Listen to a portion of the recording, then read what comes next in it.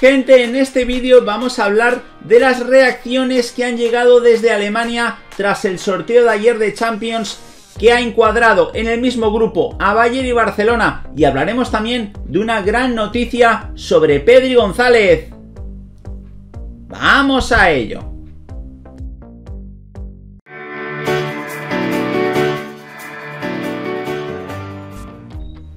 Hola de nuevo gente, ¿cómo estáis? Bienvenidos de nuevo a otro vídeo para el canal.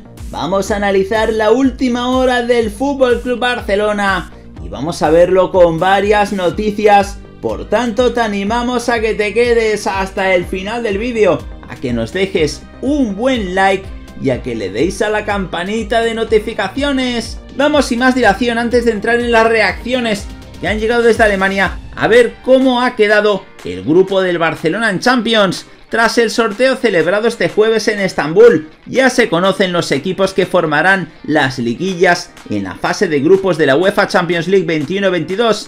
Al sorteo, el FC Barcelona llegó como integrante del segundo bombo tras quedarse en la tercera posición de la Liga Santander 2021, un factor que complicaba sus aspiraciones en el sorteo del máximo torneo continental a nivel de clubes Finalmente el Barça ha quedado encuadrado en el grupo E, en el que tendrá que medirse a doble partido contra los siguientes rivales, Bayern de Múnich, Benfica y Dinamo de Kiev. Será un grupo como todos los años muy exigente que obligará al conjunto dirigido por Ronald Koeman a estar muy concentrado en todos los choques y no dejar escapar puntos que así como en la edición pasada le costaron en gran medida recordando lo que pasó frente a la Juventus que obligó a los culés a enfrentarse al PSG en octavos. El Bayern de Múnich es el gran rival de los azulgrana en esta fase de grupos. Los bávaros fueron quienes eliminaron al Barcelona en la edición 19-20 en Lisboa, con una goleada inolvidable de 2 a 8, comandados por Robert Lewandowski y Julian Nagelsmann. Será un verdadero reto para los de Kuman en esta edición de la Champions League.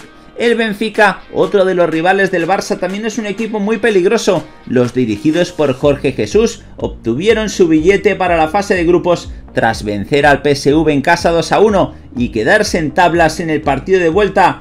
Un rival que puede complicarle el grupo a los azulgrana, sobre todo en el partido en el emblemático Estadio de Luz de Lisboa. Por último, el Barça también se verá las caras con el Dinamo de Kiev con el que los blaugranas ya se enfrentaron en la fase de grupos de la edición pasada. No será en cualquier caso un rival sencillo y ya Ronald Koeman y compañía saben que pueden complicarle la fase de grupos este año. Por tanto, el Barcelona no puede dormirse. Los dos grandes favoritos son el Barcelona y el Bayern para pasar a la siguiente ronda. Un Bayern que en ningún momento ha escondido la satisfacción por enfrentarse de nuevo al Barcelona tras el 2 a 8 endosado hace un año en esta misma competición. Y es que en Can Barça se entiende este duelo, este doble duelo ante el Bayern como una posibilidad de cobrar revancha por aquel 8-2 en Lisboa que sufrieron ante los teutones. El representante del Bayern en el sorteo fue Oliver Kahn,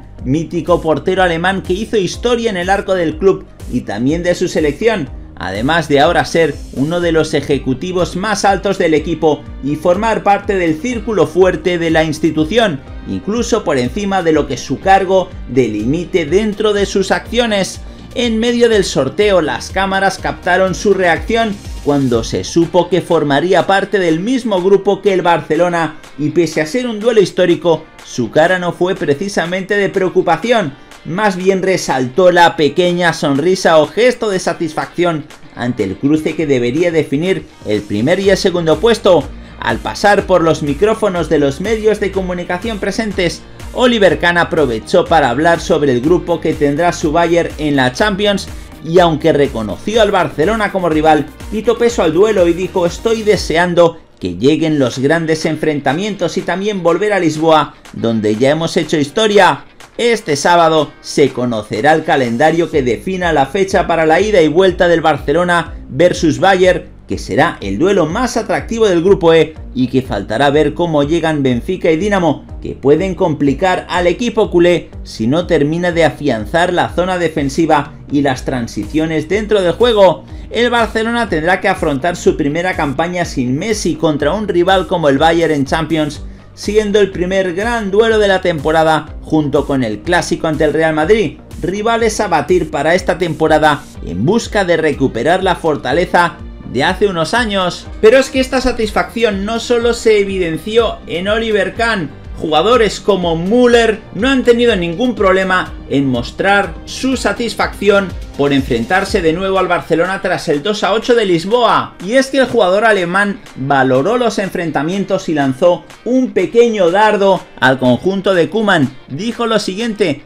tengo muchas ganas de enfrentarme a estos equipos, los cuales pueden jugar muy bien al fútbol. El mejor recuerdo lo tenemos del Barcelona de los cuartos de final de 2020, apuntó el alemán. El portero y capitán del seis veces campeón de Europa Manuel Neuer se mostró feliz pero pidió paciencia y respeto para el resto de los equipos del grupo y dijo no nos podemos permitir ningún fallo en este grupo, todos son rivales muy fuertes, el Benfica juega muy bien, allí siempre reina un fantástico ambiente, al Dinamo de Kiev no podemos subestimarlo, es un equipo muy combativo, el director deportivo Hassan Salidamidzic destacó que el Barça es otro equipo sin Leo Messi, pero que sigue teniendo grandes futbolistas. Dijo lo siguiente, el Benfica es un gran club, un club tradicional con un nombre prestigioso y el Dinamo es campeón del doblete en Ucrania. No nos podemos confiar.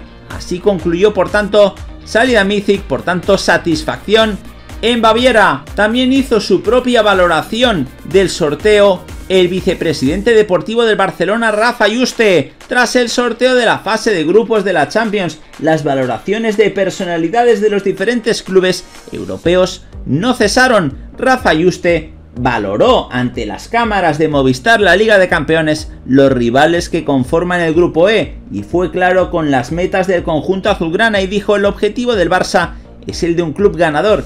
Ser el primero de grupo es algo que los culés siempre tenemos en la cabeza y que intentaremos lograr de nuevo. En la memoria del equipo azulgrana todavía resuena el 2 a 8 que encajaron ante los alemanes, pero Justen no quiso destacar ese tema y dijo el Bayern es siempre un aliciente, pero el pasado es pasado. El vicepresidente deportivo también aprovechó para felicitar a Sandra Paños, Alexia Putellas y Jennifer Hermoso por sus éxitos en los premios de la UEFA y dijo quiero felicitar a todas ellas y también a Luis Cortés por este éxito. Estamos contentos y felices y también muy orgullosos.